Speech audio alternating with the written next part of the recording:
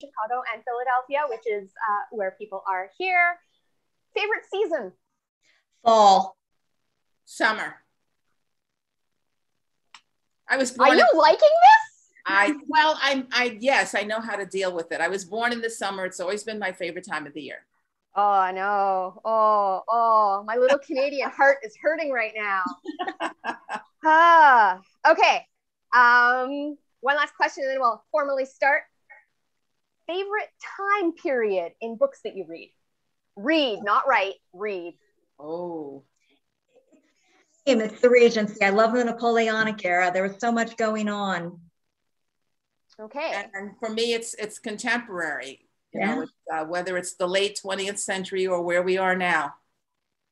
So not much a big surprise. So well, that falls right in line with how you write.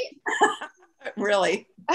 okay, let's get started. Hi, everyone. Thank you so much for joining us at the July Love at the Library Book Club, brought to you by Sourcebooks and Baker and Taylor. My name's Dina Halick, and I'm the head of the fiction department at the Central Branch of the Free Library of Philadelphia. And I am thrilled to be here with Sandra Kitt and Anna Harrington. Unfortunately, Roni Loren, who was supposed to be here as well, is sick and isn't able to join us. So hopefully she will be better really soon. We're pulling for you. I had so many things I wanted to talk to her about. Hopefully we'll be able to get to do that another day. So before we begin our discussion, I have a few housekeeping things uh, to make sure that you're aware of. At the end of today's event, we will pick three lucky winners of a romance prize pack of the people who are in attendance right now to thank you for registering and attending. And those will be announced at the end of the program. Also, we encourage you to submit your questions for our wonderful, wonderful authors through the Google form link which is provided in chat. And it's there already. Caitlin has put it up there. We're doing the questions this way today instead of through Zoom directly as part of event security.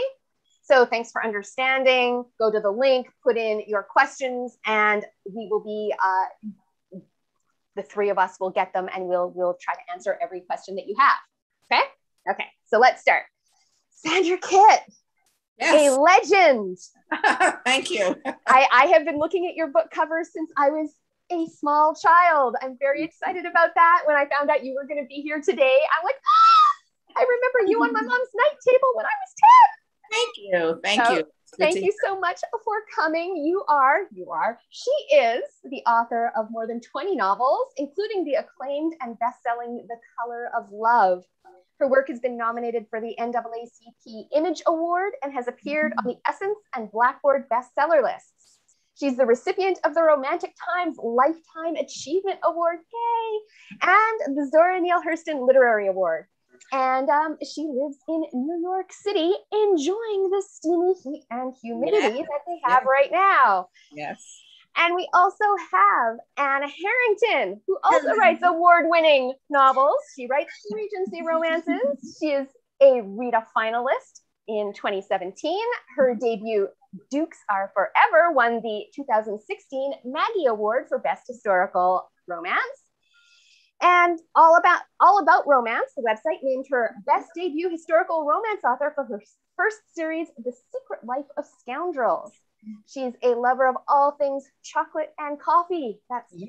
one out of the two things I love. When she is not hard at work writing her next book or planning her next series, she loves to fly airplanes. Oh my God, why did we not talk about that earlier? We'll get to that later. Go ballroom dancing or tend to her roses. We'll talk about her roses too. She has a lot. She is an English professor in Chattanooga, Tennessee. Yes. So that means you literally live on the side of a mountain, right? I literally live on the side of a mountain. Yes. that so, is amazing. So the sun doesn't actually hit my house until 10 a.m. in the morning because it has to clear the mountain first before it hits my house. Mm-hmm. I'm not kidding. Yep. And Sandra and I are both completely urban, and we're like, what is this nature you're talking about? the sun hits my house at like seven in the morning because all my windows face east. So I get early sunlight. Oh, that's lovely. so hello to both of you. Thank you so much for joining us. And we have, I think, a jam-packed program of things that we want to talk about. So let's start. Just first, let's talk a little about your books. You both have new books. Tell me a little bit about the book that you have coming out What's it about? What can people expect? Just pimp out your stuff. Sandra, you go first. Okay, well, the uh, the book that's out right now is called Winner Takes All, contemporary.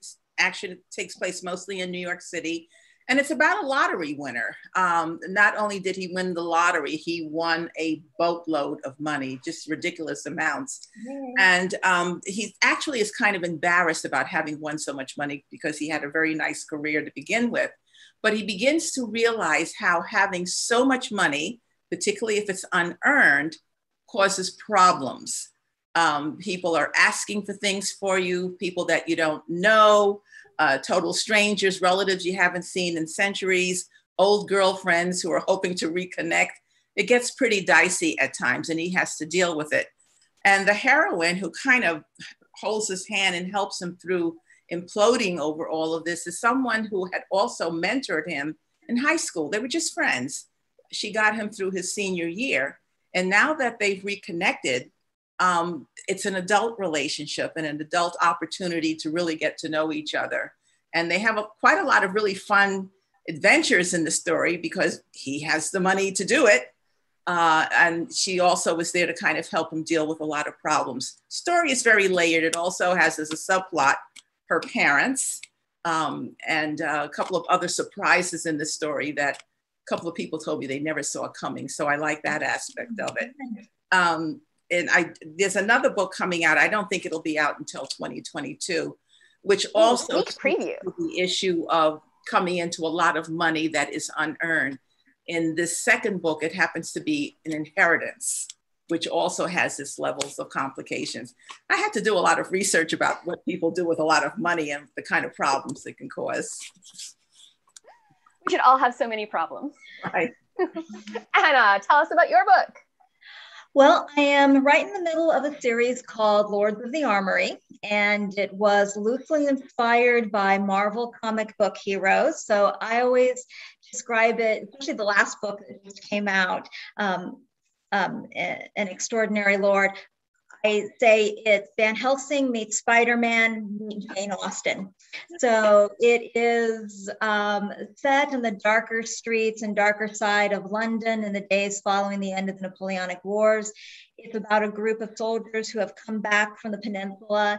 They don't have purpose in their lives. They can't adapt to being back to this new life back in England. Everything's changed. People don't understand what they've gone through, kind of what a lot of soldiers go through even today when they've been serving overseas and they discover that there's a secret plot to overthrow the monarch and put a puppet ruler in place, an evil group called Scepter, and they have decided to uh, band together and stop the new revolution.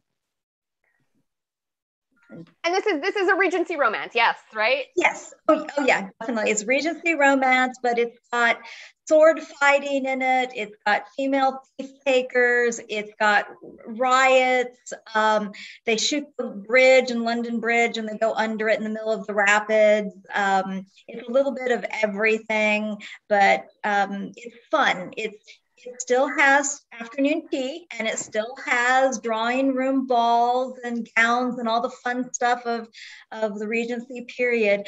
But then it also um, has a bit of thriller mixed in as well. That is so cool. So. I know I've read, I've read, I've read the latest one or I've read, I read the latest one. I've read the one that I've been, okay, we'll talk so, about it yeah so the, the first one i think that I, I, think most people would want me to talk about is um, an inconvenient duke and that's the first one in the series. Um, and he comes back from the war. He's sort of like wellington. They make him a duke. He doesn't know what to do with his life. And he discovers that his sister has been murdered and he wants to find the person responsible. And that leads him to his sister's best friend danielle who unbeknownst to him, is leading a secret organization called Nightingale, which helps abused women escape their abusers. And so it, the plot just sort of unfolds from there. They're both keeping secrets. They don't trust each other, but of course they're madly in love. And eventually hijinks ensue and happily ever after. it, it, it's weird to say hijinks ensue when there's like a murder and helping people escape from domestic abuse Yeah. But yes, I've read it. There are hijinks. There um, are hijinks. Yeah, there lots, are hijinks. Lots, lots of things happen. It is definitely a page turner. Um, some a reader emailed me and said, I read it all in one night because when I reached the end of a chapter, you just kept going into the next one and I couldn't put it down. I think that's the biggest compliment I could get. I think based on like both of you are writing books about some very extreme, like winning a lot of money or a secret society of women who are helping other women escape domestic abuse in the Regency era. How do you do your research for this? Like, where do you find all that information? What made you want to do that in the first place? Anna, let's start with you because I'm, I'm on the secret society kick right now. You want to start with me? Yeah. Okay. Um, so I was having drinks with friends in a bar and they had mentioned how much they loved new Marvel com- comic movies. And I said, they're great, but I love history. And they said, wouldn't it be great if you could find a way to mesh the two together? And I thought about it and I realized that these these comic book heroes are not that much different from our traditional heroes we, we love and adore no matter what time period they've been put in. So that's what started the idea. And then to do the research, it was just thank God for Google because you can find anything out there these days. Thank God for Google and thank God for the people that take the time to put the information up there so I can find it. So it was things like revolutionary groups in 1815 London, and I would get you know pages and pages, and that's where it started, and it just went from there. Um, Nightingale is completely made up, but I thought, wouldn't it be wonderful if she was not only trying to reform the system and stop abuse from happening, but was also helping to rescue the women who were already caught up in it, and so that's how that sort of unfolded. Interesting. And Sandra, I'm just going to assume and you can lie to me if you want, you have not won millions of dollars in a lottery. No, I have not won millions of dollars or even $10 in the lottery, unfortunately. So, uh, working on the book gave me an opportunity to imagine, you know, what would you do if you won the lottery? Um, and I did do research on that actually and found that uh, there is a history of people really squandering whatever they've won through the lottery. Uh, and one of the things I learned from doing my research is that if you win a lot of money or you're given a lot of money, you don't talk about it. You don't talk about it to anyone until you've had a chance to talk to some professionals and figure out what it is you want to do and get some advice. Um, but it was interesting to find out how many people really just went through all of their money very, very quickly. And obviously, I didn't want that to happen to my hero. So, um, but he did have to decide what it is he was going to do with his money. And pro- one of the premises of the story for me was, again, to explore the whole fact, the whole issue of coming into a great deal of wealth, totally unexpected, totally unearned, and really realistically, what do you do with how much money can you possibly spend? And so I thought it would be nice if he began to develop a kind of philanthropic mindset. He didn't come to it on his own. That's what we had the heroine for. But he began to realize that he could use the money for a lot of good. And that and that's eventually what happens in the story. Uh, that that's the, the, the main uh, thrust of, of the novel. Um, as I said, there is a, um, a subplot with the heroine's parents and I don't want to give too much of that away because I do want people to read the book, but it has to do with her parentage and her background and um, and you know how she started life and where she is now, all of which who she is and what she is is really is kind of relevant to the story as well. But it was the money aspect which really was the um, propel the story forward. So in both of the books, your your two main characters do have a history with each other. They aren't like, oh, I've met you for the first time and it's love at first sight. They they have a pre-existing relationship in one way or another. Mm-hmm. Do you enjoy writing characters that aren't like, bam, first impressions, here you are? I think it's more challenging if they're just meeting. Uh, and, and you have to figure out what is it and essentially that draws them together um, because you know these are presumably adults they don't know anything about each other is there a spark right away Is it hate at first sight? And then how do you get over that? Um, and I, I think when I when I think about it realistically, really most of my books are that. They they come to the beginning of the story. They've never seen each other before. It's all new. Um, this is one of the very very few books I can count them all on one hand, where the hero and heroine knew each other to some extent bef- before the story started, and they were much younger, or maybe there was just a few years, um, you know, introduction um, and this was a case where there was no romantic intent between them. They were high school classmates. And the way they came together was purely about the academics and him getting out of high school and her helping him to do it. So when they meet up again at the announcement of his lottery winning, they already have a foundation. They already recognize each other, and, and that recognition and what they were together at first as high school students begins to help them really sort of bridge the gap quite quickly and they can begin as adults to take the relationship to another level. And I find it difficult to write meet cutes where they've never met before because they don't know how to interact with each other. If you think about it, when you meet a stranger on the street, you don't really know how to interact with that person. But if it's someone you know, then the sparks can fly from the very beginning. If it's friendship, if it's enemies to lovers, whatever the, the trope is, um, that's sort of built in if they already know each other. It's a, it's a nice little leg up on writing the the plot. And and I do want to apologize. My phone rang. I think I'm the only person in the world who still has a landline and doesn't have a cell phone. This is why I write historicals. Never right. heard it. I don't think I heard it. So good. Thank you. I you. Didn't hear it either. If you hadn't said anything, we would never have known. I know. so the theme for this month is new beginnings. So, can you talk about what that means for the characters in your book? I think, Sandra, you have a very definite new beginning uh, in yours. I, I, I do. Um, some people have referred to it as a second chance at love, which I wasn't sure if was really accurate because they were never in love to begin with. They were teenagers. Um, but um, coming back together again, as I said, allows them to kind of make a, a, a leap uh, into time where they can bridge very quickly the times when they were like 16, 18 years old to now they're young adults, you know, basically twice as many years later, uh, double the number of years. And um, I, I think because they come together again as adults, they also have adult history, not together, but they've, they've been in romances. They've, you know, the heroine used to be engaged at one point. The hero had been married and divorced so they, you know, they've had the experience of, of first love and first romance and coming together again because they have this basic familiarity with each other allows them to sort of get back into it very, very quickly. There's always, there's already the trust level that has been bridged. There's already familiarity and the history between them, as light as it may be. It allows them to feel very, very comfortable very quickly. And so they realize very quickly that they really do want to see where this can go now.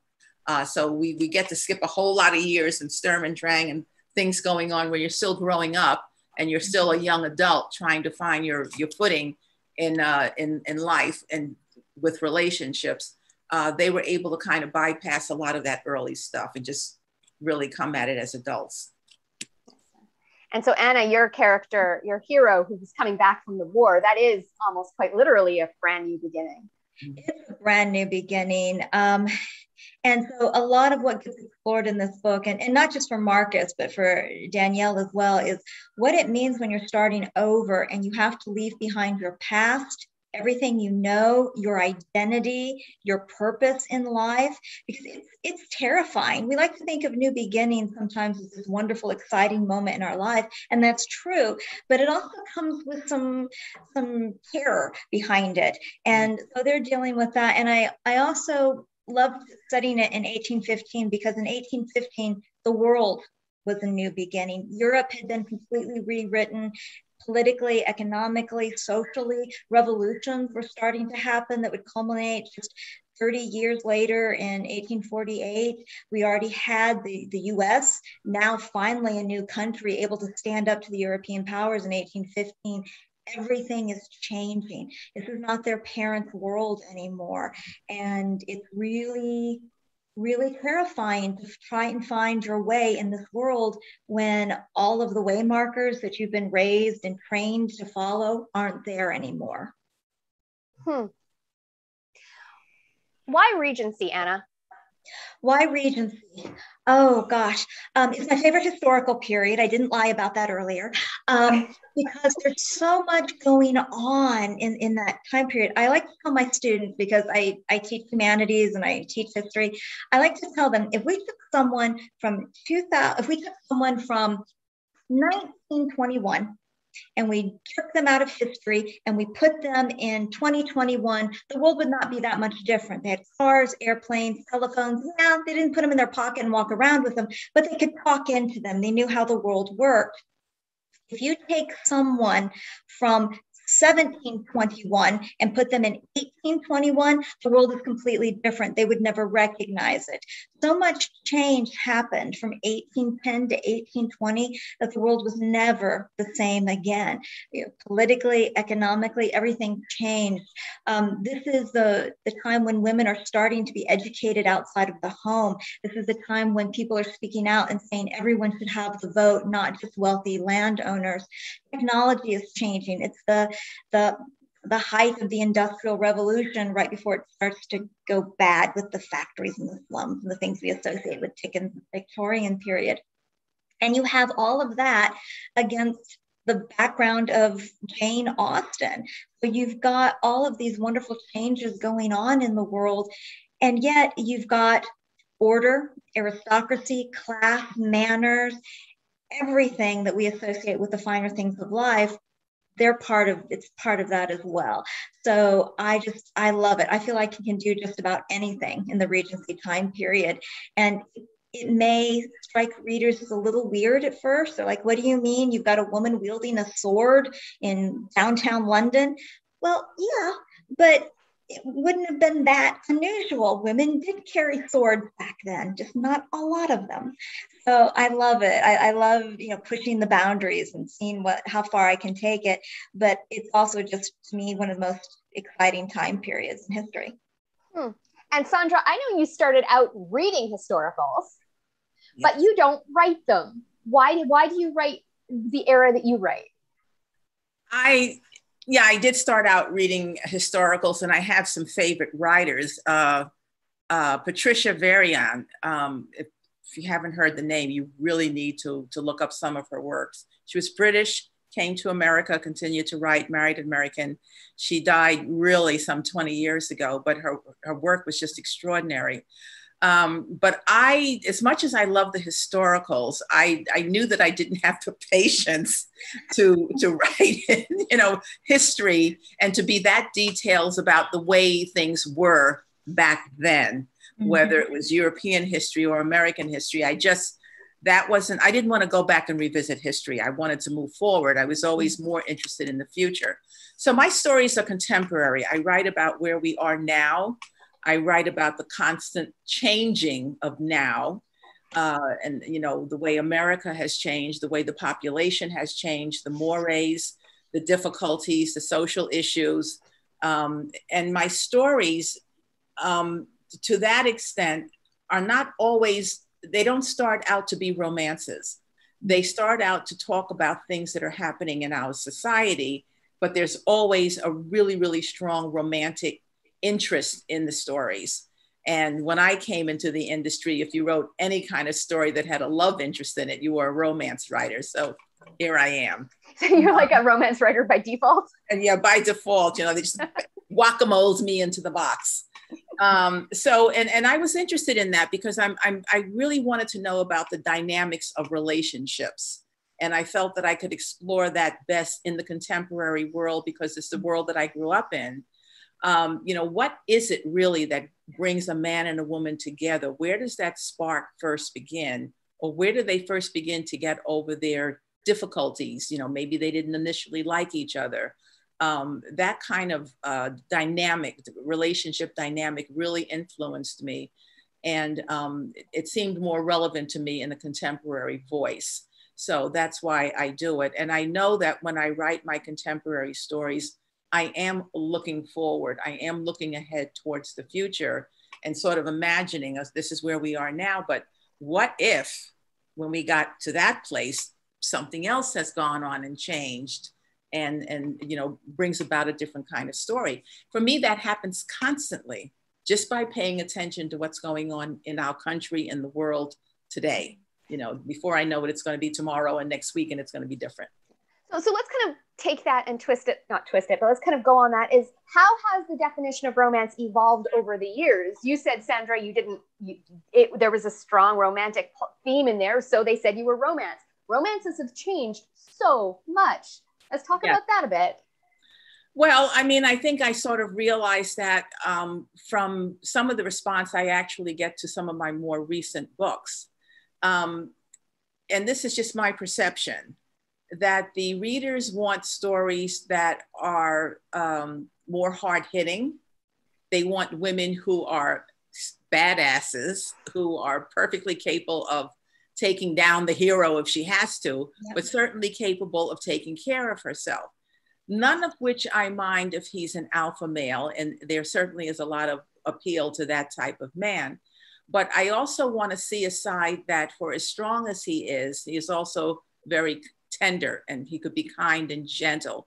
And I personally feel that a man's greatest strength is in his ability to be gentle because it may not be inherently part of the way we raise men or what we expect of men and of boys. So if you meet a guy who comes across with that, you know, he can really take care of everything, but he can also be there for you when, you know, to be kind and gentle and understanding. To me, he's got it all. He just mm-hmm. really has it all at that point. Um, I, I, feel that the way also romances have changed is I don't feel and experience as a reader, not a writer, as a reader, that sense of tenderness. For me, a lot of romance is what you're feeling as you're experiencing these changes. As you're meeting someone that you really like and you're wondering, does he like you or how can you get him to like you? I want to feel what it's like when you first make eye contact and you say, oh, there's something going on here this something could be developed into something. I want to feel what it's like the first time he touches her, or the first time he pulls her in her arms, uh, his arms, or the first time she puts her arms around him, the first time mm-hmm. they kiss. It's not about the words, it's not about the description, it's about what they evoke. And I want to feel that. I want to feel, oh my goodness, I wish I was in her place and he was kissing me you know, years ago, I remember a writer at a conference saying, if she says, when I'm writing a love scene, a sex scene, she says, if I don't get hot and turned on while I'm writing it and while I'm reading, she said, I'm doing something wrong because they that's part of what she wants to feel. And I think that's part of what a lot of readers of romances want. They want to vicariously live through that delicious feeling that just mm-hmm washes through you when you're falling in love, when you're becoming attracted to someone. That's yeah. a feeling. And, and I, I want to see that described. And I, I think that um, sometimes I don't see that.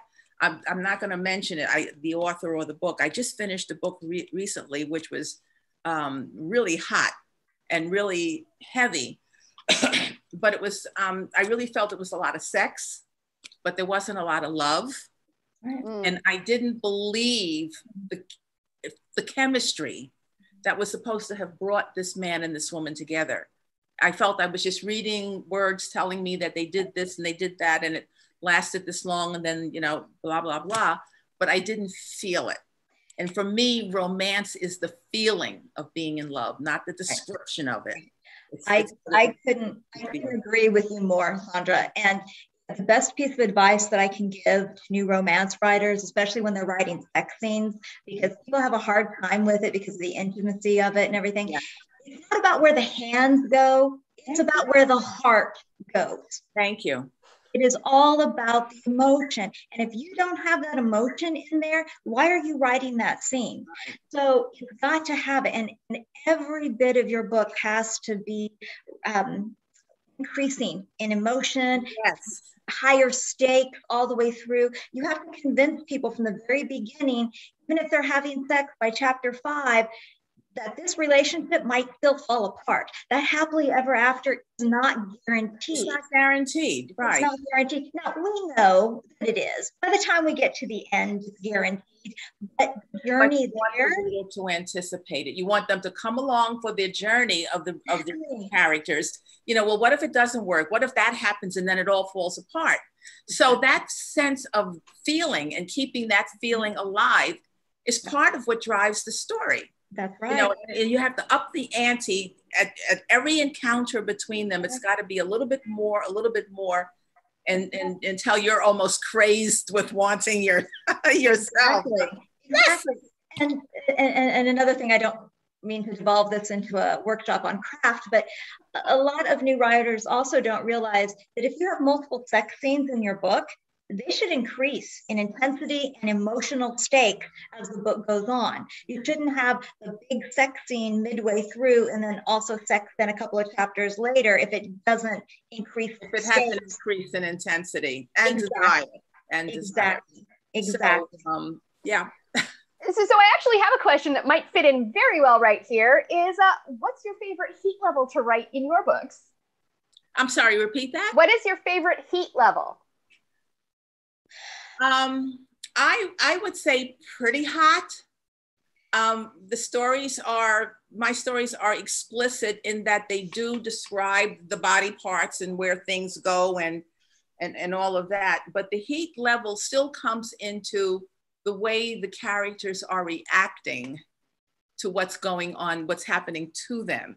Mm-hmm. You know, the sounds that they're making, the movement of their bodies, uh, the whispers, the moans. Um, I, I, for me, it's important to describe those so that the reader reading can hear it.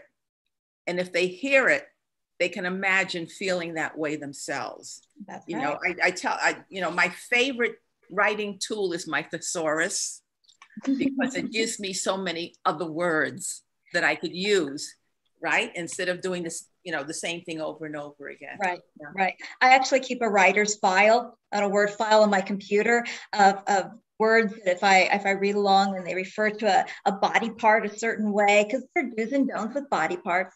Um, i like to put that into my file so i've got it sort of like my own thesaurus. Um, mine's probably four out of five on the heat scale. I'm just shy of erotica but not close to it. But I was banned at Walmart. Uh, what? Walmart refuses to carry one of my books yeah. that opens with an oral sex scene. Yeah. Now, the whole point of the, the oral sex scene, it's not graphic at all. It just opens with it is because we're establishing the hero as this devil may care playboy rogue who knows how to take care of women, knows That's how to right them. Right, right. To get his own pleasure, right? And so the book is a journey from him realizing that it's not about him, it's about the woman he loves. And so you have to kind of start with that scene. Um, odd that they refuse to carry my book when they allow 50 Shades of Grey, but yeah, they, they don't have it. It's not allowed on there. You can't find it at Walmart. Well, it's also marketing. I mean, let's face it's it. marketing. Between, uh, not to get off on uh, Shades of uh, mm-hmm. Shades of Grey, mm-hmm. um, is that it got so much hype. There was an audience for it. It didn't That's matter right. how much sex it had. It, you know, the, the the store knew that there was a market for it, and they were trying to That's sell right. books. That's right. So you have to look at it purely in that sense. Yeah, I mean, I, that's true. I, that is true. I think the, the the second book that I did that will be hopefully coming out next year. I remember getting a note from someone um, saying, but this was in house, saying that um, this this scene seems a little bit hotter than what we've seen from you before. Could you tamp it down a bit? So I went back and I mm-hmm. read I read it and I'm thinking, did I miss something here? Yeah. really? They consider this hot? And I'm thinking of where I could have taken it. But um, you know, it's it's a little bit subjective as well. You know, what's hot and what's hot, and then what's hot and what's not. That's right. Um, Yeah. You know. And a lot of times people confuse heat level with sexual tension. Uh, exactly. Um, what, what, one of the books that, that I wrote that readers um, always tell me is, you know, one of the hottest books I've written, they only have sex once. And it's not that unusual of a sex scene. Well, But maybe it's the anticipation that you built up. And when it finally got to that, they're going, oh my God. You know, it's just, I mean, this is yeah, oh exactly. I feel like we're getting a master class in how to write sex scenes and stuff here. This is awesome. Let's go back. And how did you become romance readers? Like you, you've now got a very sophisticated palate, but what, where did you start? I started when I was probably in junior high school. And again, the books that I were reading at that time were historicals. They called them Gothic romances. So they were all set in Europe. Um, the, the heroines were always 17, 18 years old, and the hero was always the older man. She was always running across the moors in her nightgown, and he always lived in this drafty old castle. But they were just wonderfully romantic to, to me because I could see what was developing emotionally between the two main characters. That's what riveted me, was that relationship developing between the two of them one of the things I realized, and, and this subsequently came out in a um, in something that I was doing when I was in college, and I was still reading a lot of these books. And I remember some some um, teachers and women that I knew complaining about how awful romances were. And I said, don't you realize that for a teenage girl, this is the first time they're reading stories where they read about the possibilities of real love and real togetherness. Yep. You know, there's no abuse, there's no profanity. The stories uh, in and of themselves are very kind of middle class, you know, so everyone, most people, particularly if you're a reader, can pretty much be on that level. I said, this is the first time that a, a girl of 13 through 18 is reading about a positive relationship and what it is she could have for herself. Instead of putting up with a guy who doesn't pay any attention to her. He doesn't show up when he says he's going to. He never takes her out. He calls her names, whatever you want to call it, that she's experiencing where she is in time and in her life and in her world. She can read that there's something better and something she could actually strive for. The romance novels are always going to have a positive ending, always. They are always going to work out whatever the issue is between them and decide at the end, you're the one that I want. And I think if a young girl comes away from a book with that feeling, she's going to respect, hopefully, what it is she deserves and what it is she wants for herself in a romantic relationship. So I, I thought as a teenager, the, the books served a very educational purpose. It's your first introduction to what a good relationship is. Yes, and it's a safe space for these young girls to explore um, love and feelings of emotion and what it's like to care for each other because it does have that happily ever after ending. It's safe for them to project themselves into the heroine Mm-hmm. and live this other life for a few days, a few hours, um, where they're not going to get that in the real world. It's a lot harsher. And it's almost like I always call it a step up in fairy tale. When I got tired of reading fairy tales, the next happily ever after were romances. And so it was just a natural segue. It wasn't all I was reading. I was reading Shakespeare. I was reading Yeah, everything. I was reading lots of things, but it, it was the continuation of that fairy tale where Right. you knew in the end things were going to turn out well. She was going to live happily ever after. She was going to be loved. Everything was going to be special. And I think that's what really pulls us in.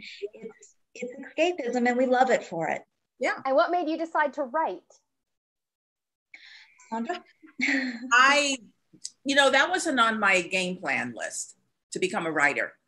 I was a voracious reader always from the time I was six or seven years old. But it was pure happenstance that brought me to writing my first book. And literally, it happened like that. Just something I saw in New York outside of Bloomingdale's.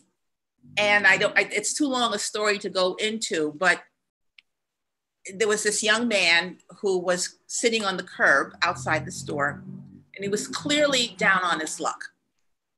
And when I saw him, what resonated to me was not that he was dirty and his hair was over long and you know maybe he needed a bath it was the sense that something had gone on wrong in his life that had affected him either made him very unhappy very sad very lost and this is where he was okay so i went home that night and started writing my book and it had nothing to do with the derelict mm. it started with someone who was in a situation where he he had had a loss and it had affected him emotionally.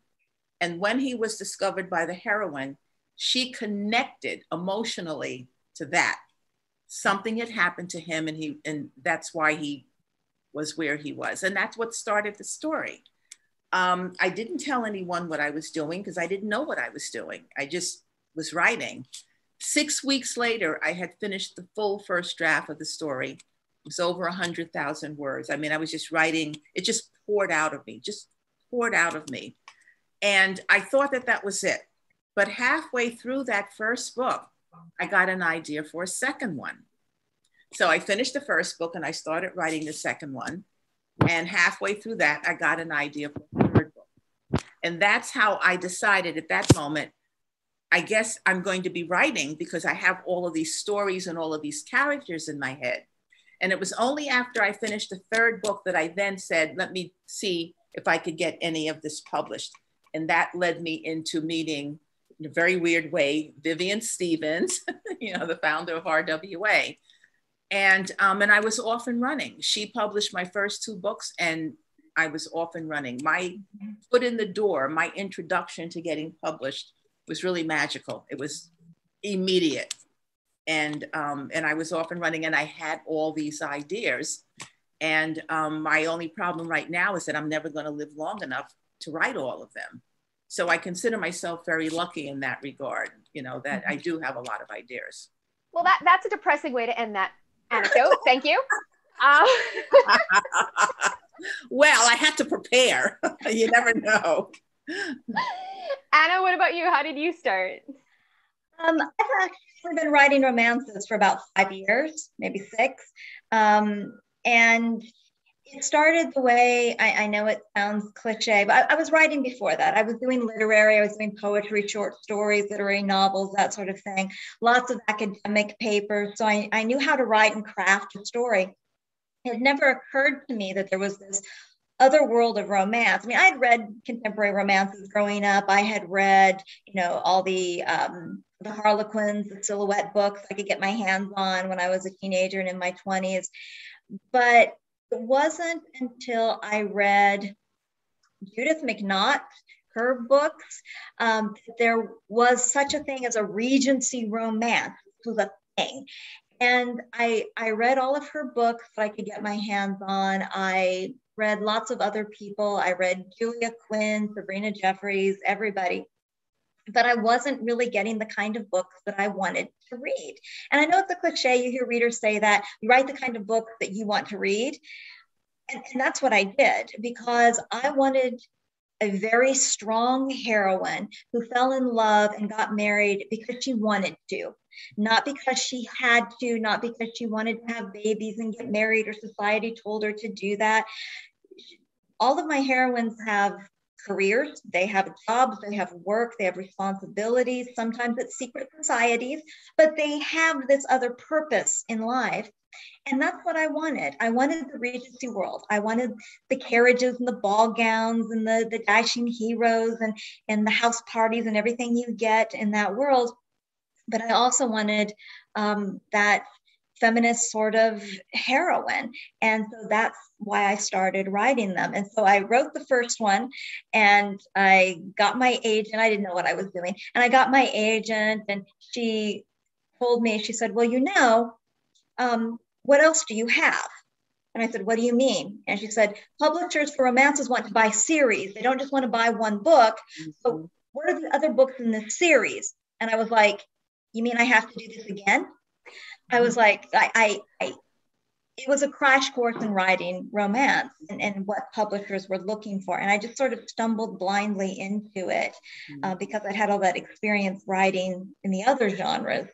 Um, so I got lucky that way with craft, and then it was just a matter of learning um, the requirements for Regency romance and the tropes. And just like with Sandra, I have so many ideas now mm-hmm. that I could keep writing for another 20, 30 years. And, yeah. and every time you write a book, you get more because yeah. you always have supporting characters that you you love and you pour your heart and soul into them, and they should get their own stories and their own romance and happily ever after fairy tale too.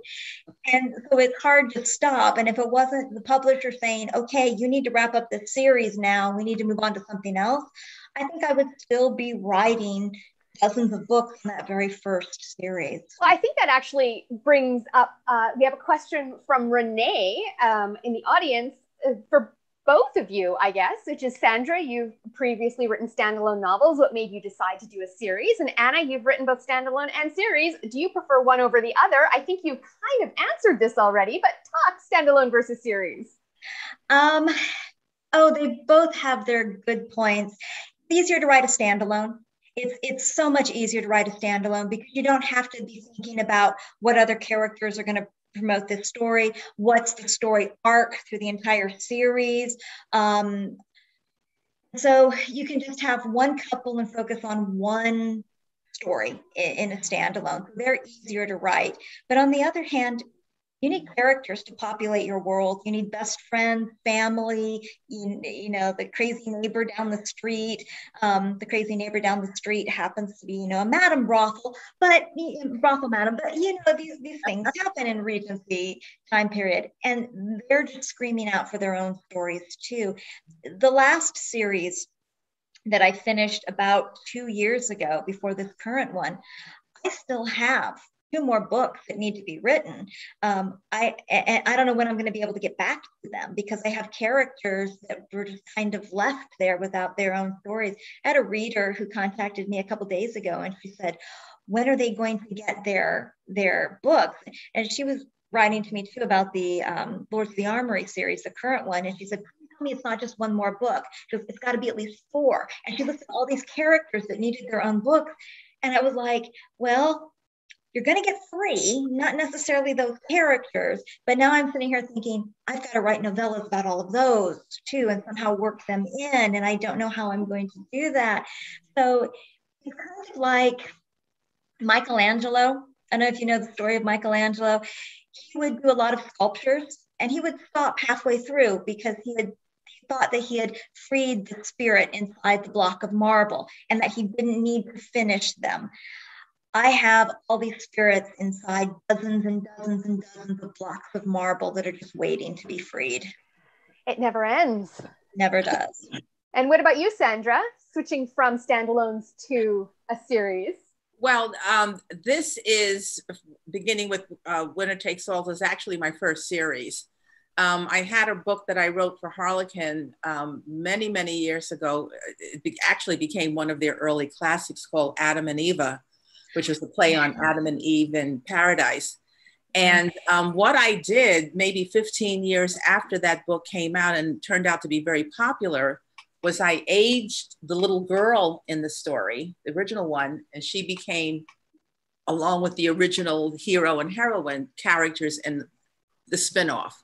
So it was her story because uh, she's an adult now, she's a doctor. Um, and her parents, uh, you know, still own a house on this tropical island where they first met. So that you really can't consider it a series. It was just one of those odd one-offs that was a sequel to the first book.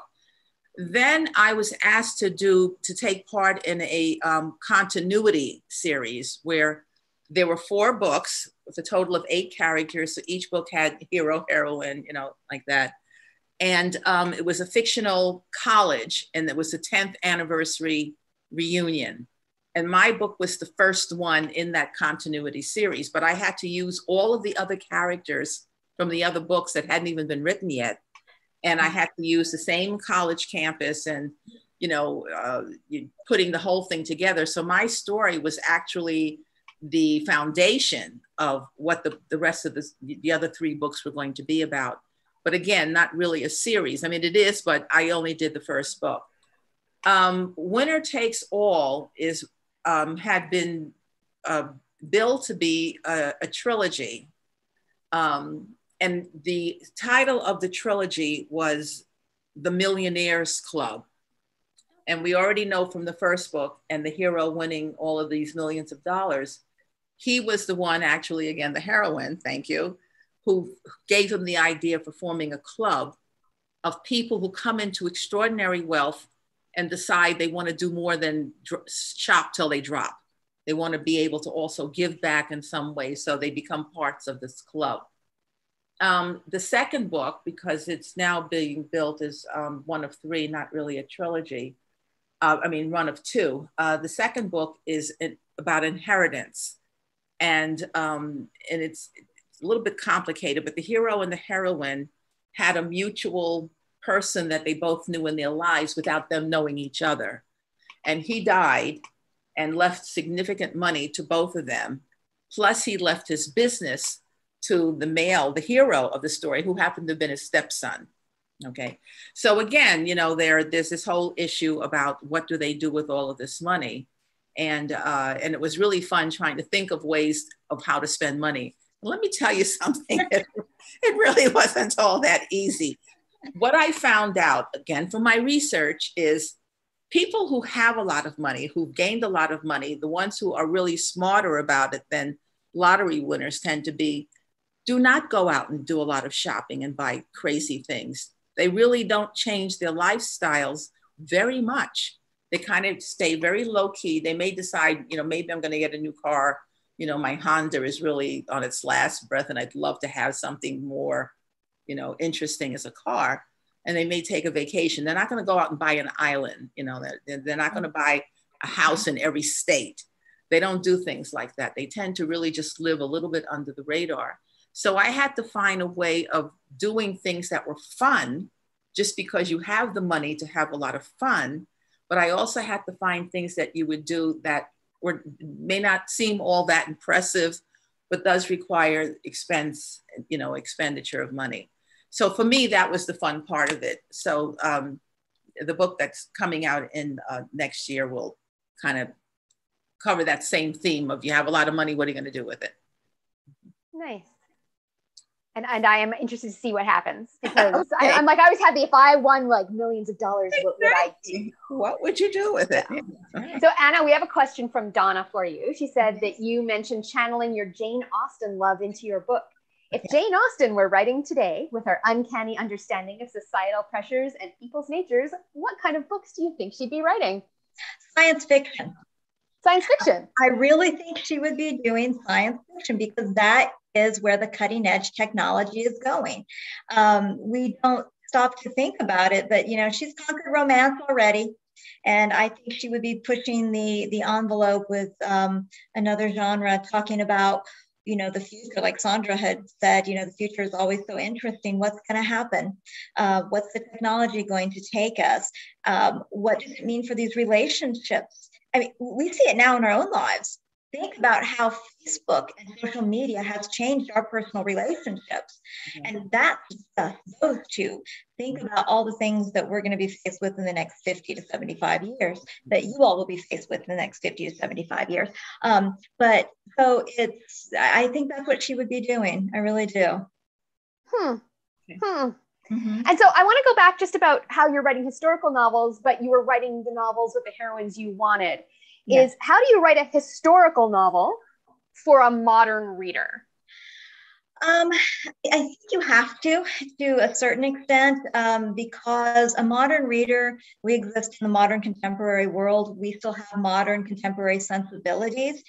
If you try to, I tried to write Jane Austen book where they were concerned about getting the house and the husband, and in that order by the way. You've ever read Jane Austen? Her characters are more concerned about status and money than they are about the love that they eventually get.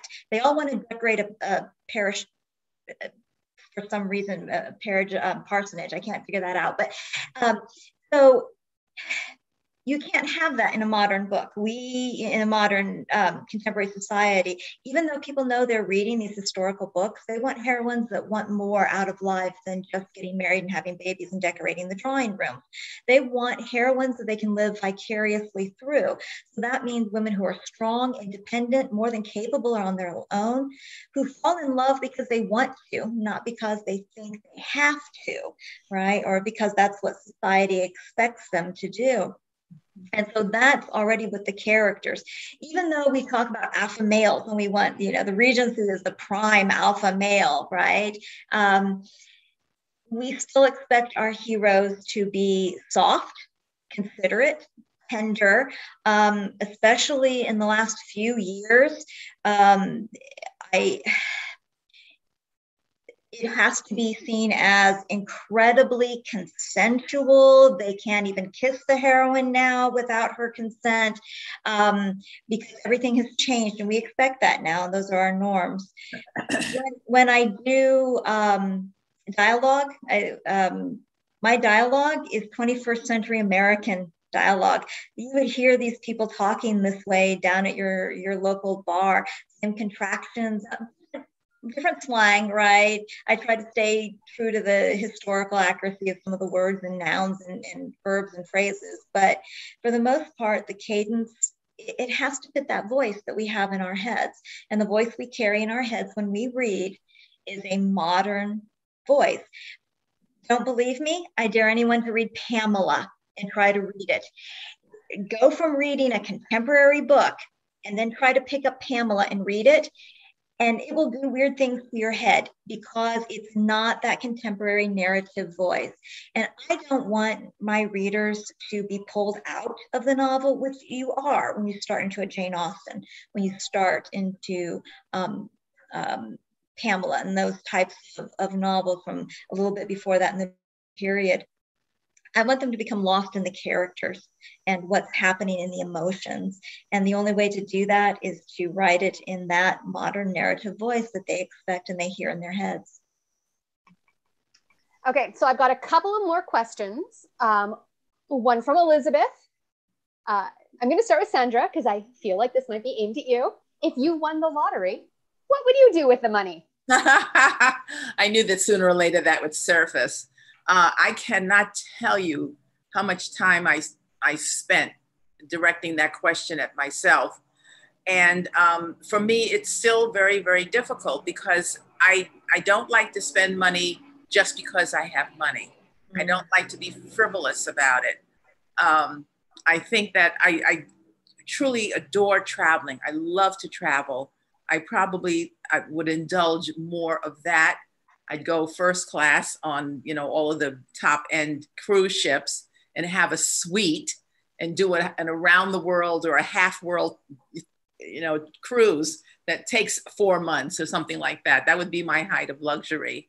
Um, I wouldn't be spending it on a lot of jewelry. Um, I probably would indulge in a house. I mean, Anna's situation where she has this house with two acres and this what it sounds like a stunning garden is very, very appealing. So rather than investing in a she shed, I would invest in a full house, uh, you know, lots of room for my books and everything else. Um, but I, I, I probably would treat and be kind to other people, certainly family members, certainly um, people that I know who I feel could really use a little, you know, a lift, uplift, or a little hand. I would do that very willingly. And what about your second cousin twice removed who comes out of the woodwork and tells you that you're related? Well, there, there, would, there would be a great interview there. So tell me what your story is. What do you need this money for? You know, and how much are we talking about? I mean, I'd probably grill him or her uh, to find out. Um, um, you know, you do have to be prudent. It's not that you're trying to be selfish or mean, but I do think you have to to think with your head on your shoulders and and not just make foolish decisions. What about uh, you, Anna? Yeah. what would I do if I won the lottery? um, I, I would probably give most of it away for charity, actually. I find myself doing that. I'm a sucker for every ASPCA, World Wildlife Fund, the polar bears are dying, the elephants are dying commercial that comes across my TV. I um, love to do volunteer work, so I would probably give as much of it away as I could, but I don't want anybody to know that it's me. Right, right. I, would want to do it all anonymously. Um, well, you are both amazingly altruistic people. okay, one quick last question, um, which is what are you reading right now?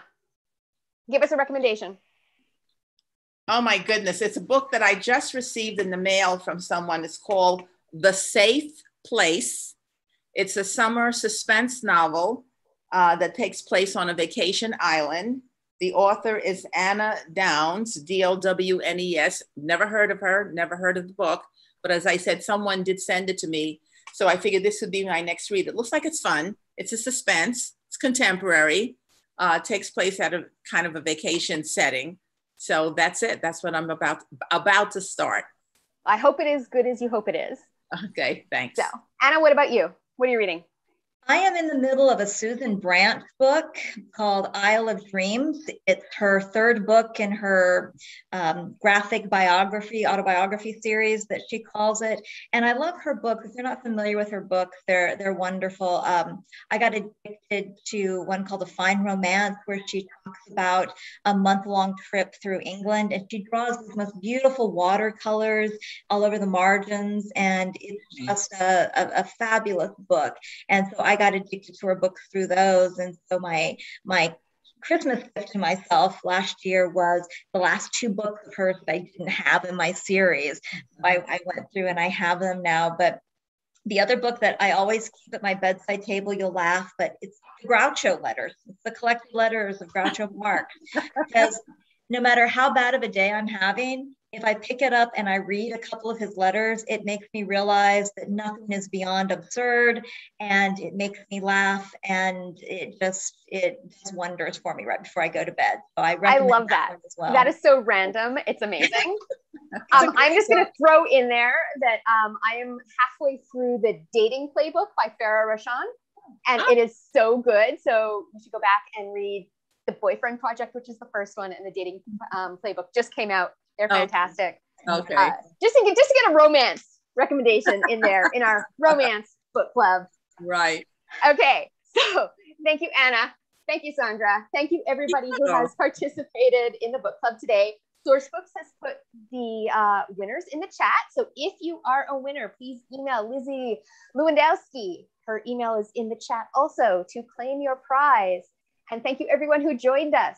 Make sure to join us next month on Wednesday, September 15th at 7 p.m. Eastern for a panel featuring Debbie, Debbie Burns, Kate McMurray, and Denise Swanson. And I have all their books lined up to read next. So I'm very excited for that. I loved reading both of your books also. Again, Sandra Kitt, oh my God, it's like bookending parts of my life. This is like so exciting. Thank you. and Anna, I did not think I would be reading Marvel in the Regency. So thank you for introducing me to something I didn't know that I wanted, but evidently I did. Yeah. Thank you for having me. It was wonderful. Oh, it was so much fun. Thank you both. Yes, uh, has us. put the link. I'm sorry, I'm trying to like finish my thing before they cut us off. Okay. Ah, the link for next month is in the chat right now. So you can sign up right now. They'll send an email follow up to all of you. Okay, relax, slow down. Thank you so much. I had so much fun chatting with you. We could have talked for like another hour. I still have questions. So thank you. And we will see everybody else next month. Thank you, Anna. Thank you, Sandra. Enjoy your summer. Sandra, I know you're a summer person. I think yes. you're crazy, but enjoy the heat in, uh, in New York City. Anna, enjoy your two acre garden with 40 roses. I'm very jealous. Thank you. Thank you, everyone. Good night. Good night, Anna.